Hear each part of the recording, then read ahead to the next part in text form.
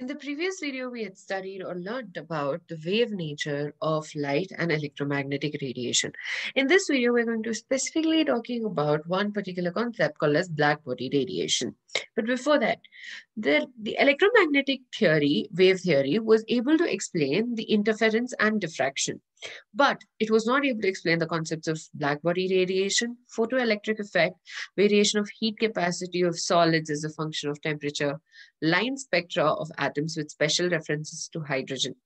So um, the, the concept of black body and the photoelectric effect will be dealt with in this video and the next one.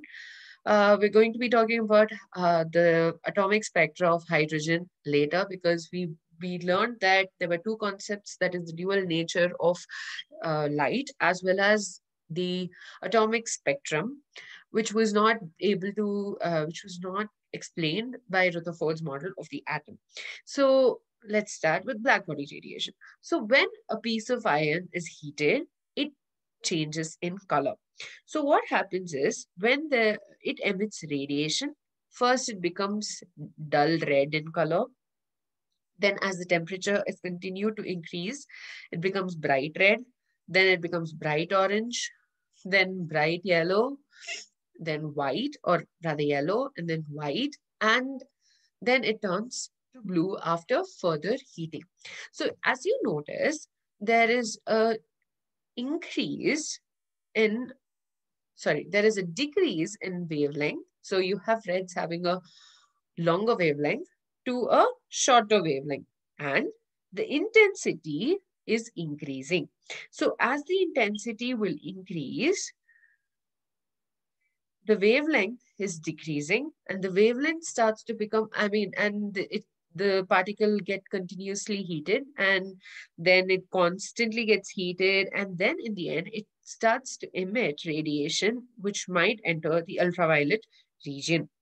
So this is so this is the general observation that happens. So a black body is a substance which absorbs and emits all the radiation it has. So, and the radiation which is emitted by a black body is called as the black body radiation. No, and no such object exists which acts as a perfect black body.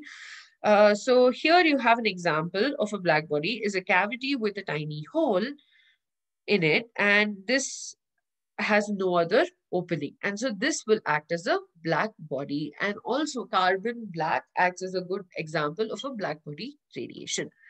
Sorry black body object or a black body rather. Anyways so there was a graph which you need to look at. Okay here you have the wavelength and the intensity. So at a particular temperature if you notice all of these are temperature dependent the intensity of radiation increases with increase in wavelength. So it increases with increase in wavelength. It is reaching a maximum position. This is called the maxima. And then it decreases. So here, if you notice, you have, let's say for 5000 Kelvin, you have the wavelength, sorry, the intensity increasing with increase in wavelength and it reached a particular maximum position and then it started to decrease.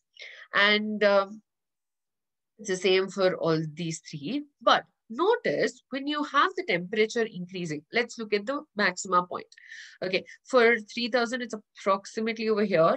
For 4000, it's over here. And for 5000, it's over here. So the maxima is shifting to a shorter wavelength when there is an increase in temperature.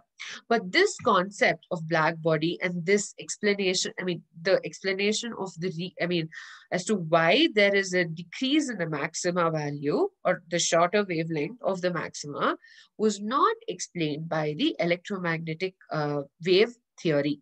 So that was, uh, so this, uh, so this is one of the concepts which is not explained by the electromagnetic wave theory. The next video, oh, wait. So in this video, we studied about the various phenomena that could not be explained by the electromagnetic wave theory and the black body radiation. In the next video, we will be studying about photoelectric effect.